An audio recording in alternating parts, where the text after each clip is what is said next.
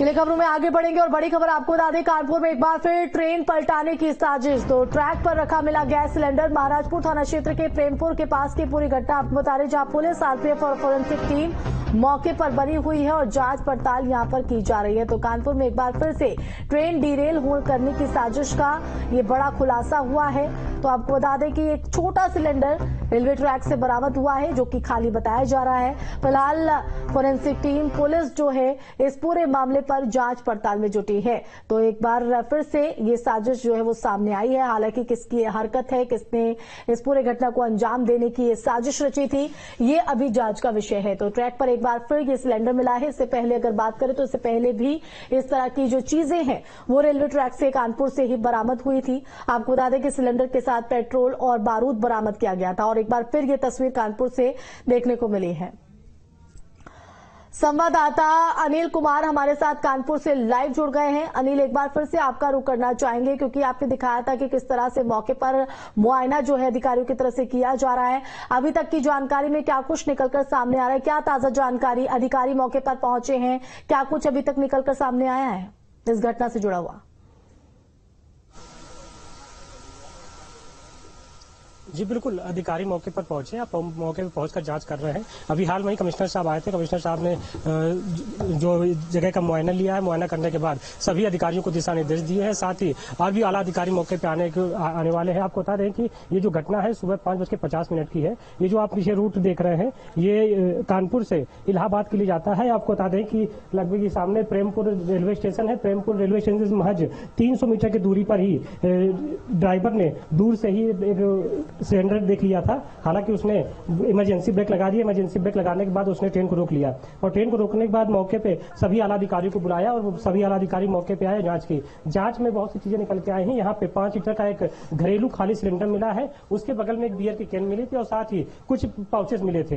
हालाँकि forensic team ने सभी को सभी को ले जब्त कर लिया। जब्त करने के बाद इसमें जाँच कर रही है। वहीं बता दें कि कानपुर में लगातार पिछले अड़तीस दिनों में तीसरी ऐसी घटना हुई है जिसको जो नाकाम साजिश थी और कहीं ना कहीं एक बड़ी साजिश करने की पूरी टीम वो साजिश की गई थी। हम्म। आपको बता दें कि कानपुर के जो पनकी है पनकी में साबरमती ट्रेन को ड्रेल किया गया था उस ड्रेल में लगभग बीस डब्बे पटरी से उतर गए थे। हालाँकि कोई भी ऐसी हताहत नहीं हुई थी। साथ ही कुछ दिनों पहले कलेंदी ट्रेन को पलटाने की साजिश की गई थी जिसमें एक सिलेंडर सामने रखा गया था सिलेंडर ट्रेन से टकराया था और दूर जाके गिरा था। लेकिन फ़िलहाल कोई हताहत नहीं हुई थी लेकिन इस पूरे प्रकरण में एनआईए जैसे एनआईए बिल्कुल लेकिन अनिल अनिल हम जिस तरह से देख रहे हैं एक के बाद एक की तीसरी घटना है जब इस तरह से ये तस्वीर निकलकर सामने आई है। हालाँकि लोको पायलट की सूझबूझता के चलते बड़ा हादसा यहाँ होने से टल गया है।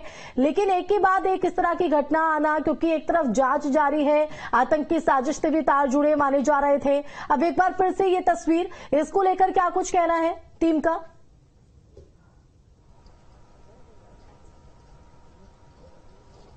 जी, बिल्कुल, लगभग जो जो भी साजिश कर रहा है, जो निशाना बना रहा है, लगभग जो आउटर के क्षेत्र है, उनको इसके निशाना बना रहा है। आपको बता दें कि चाहे वो कालिंद्री हो और फिर चाहे साबरमती ट्रेन हो लगातार जिस हिसाब से उसको पलटाने की साजिश की गई है तो कहीं ना कहीं बिल्कुल अनिल जरा अगर जो अधिकारीगण वहाँ पर मौजूद है उनसे बात करने की जरा कोशिश कीजिएगा किस तरह से जाँच को आगे बढ़ाया जाएगा क्योंकि इस तरह की घटना पहले भी आ चुकी है तो क्या तमाम घटनाओं को जोड़कर ये जाँच आगे बढ़ाई जाएगी? अगर पॉसिबल हो तो जरा बात करने की कोशिश कीजिएगा।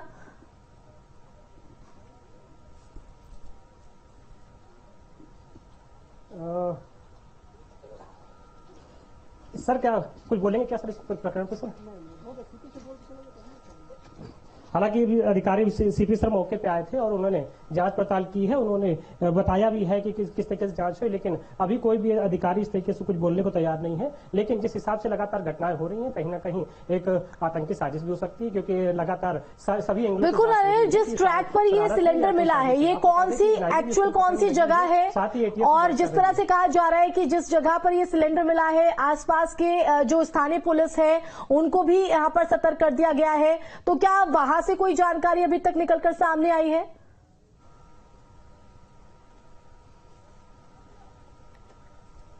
जी ये कानपुर से महज 35 किलोमीटर की दूरी पे लोकेशन है। ये प्रेमपुर प्रेमपुर रेलवे स्टेशन है। प्रेमपुर से महज 200-300 मीटर की दूरी पे यहीं पे एक सिलेंडर यहीं सिलेंडर रखा हुआ था। और सिलेंडर रखने के बाद हालाँकि ये जो ये रूट है ये दिल्ली से हावड़ा रूट है जो कि एक जो सुबह मालगाड़ी है इलाहाबाद जा रही थी। उसी मालगाड़ी में जो ड्राइवर था लोको पायलट था उसने दूरी से ही चीज़ों को देख लिया था और देखने के बाद उसने इमरजेंसी ब्रेक लगा दिया था। इमरजेंसी ब्रेक लगाने के बाद उसने सब कुछ देखा खैर इस जाँच में क्या कुछ निकलकर सामने आता है ये बड़ा सवाल है फ़िलहाल बहुत शुक्रिया अनिल तमाम जानकारी देने के लिए। तो देखिए तस्वीर भी आपको दिखा रहे हैं ये वो ट्रैक से छोटा सिलेंडर बरामद हुआ है जो कि खाली बताया जा रहा है जिसकी जाँच पड़ताल की जा रही है।